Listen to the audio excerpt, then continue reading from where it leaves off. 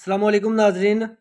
ਬਹੁਤ ਵੱਡੀ breaking news ਤੁਹਾਨੂੰ ਦੱਸਣ ਲੱਗੇ ਆ ਕਿ ਜਿਸ ਤਰੀਕੇ ਨਾਲ ਤੁਸੀਂ ਜਾਣਦੇ ਹੋ ਕਿ ਪਹਿਲਾਂ ਤਿੰਨ ਦਿਨ ਵੀ ਇੰਟਰਨੈਟ ਸਰਵਿਸ ਬੰਦ ਰਹੀ ਹੈ ਤੇ ਉਸ ਤੋਂ ਬਾਅਦ ਕੱਲ੍ਹ ਹੀ ਰਾਤ ਨੂੰ ਹੀ ਤਕਰੀਬਨ 10 11 ਵਜੇ ਦੇ ਕਰੀਬ ਜੀ ਇੰਟਰਨੈਟ ਸਰਵਿਸ ਬਹਾਲ ਹੋਈ ਸੀ।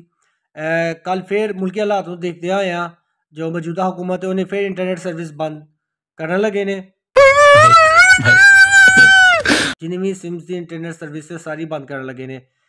ਕੁਝ ਮਾਲੂਮਾਤ ਇੱਥੋਂ ਤੱਕ ਵੀ ਮਸੂਲ ਹੋਈਆਂ ਨੇ ਕਿ ਪੀਟੀਸੀਐਲ ਦੀ ਜਿਹੜੀ ਸਰਵਿਸ ਇੰਟਰਨੈਟ ਦੀ, ਉਹ ਵੀ ਮੁਅੱਤਲ ਕਰਨ ਲੱਗੇ ਨੇ, ਮੁਲਕੀ ਸੂਰਤਾਲ ਨੂੰ ਵੇਖਦੇ ਹੋਏ ਆ।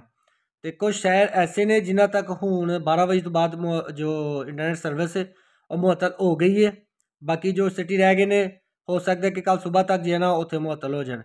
ਤੇ ਬ੍ਰੇਕਿੰਗ ਨਿਊਜ਼ ਸਭ ਤੋਂ ਵੱਡੀ ਹੈ ਕਿ ਇਹ ਜੇ ਪਿਛਲੀ ਸਰਵਿਸ ਮੁਅੱਤਲ ਹੋਈ ਇੰਟਰਨੈਟ ਦੀ, ਉਹ 3 ਦਿਨ ਦਾ ਟਾਈਮ ਦਿੱਤਾ ਸੀ ਉਹਨਾਂ ਨੇ।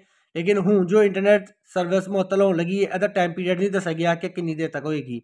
लेकिन अन्ना पता है कि यदि जो टाइम पीरियड है पिछली जो तीन दिन गुजरे ने उदे ज़्यादा है। यानी कि तीन दिन तो ज़्यादा जरा ना इंटरनेट सर्विस मुअतल रहनी है।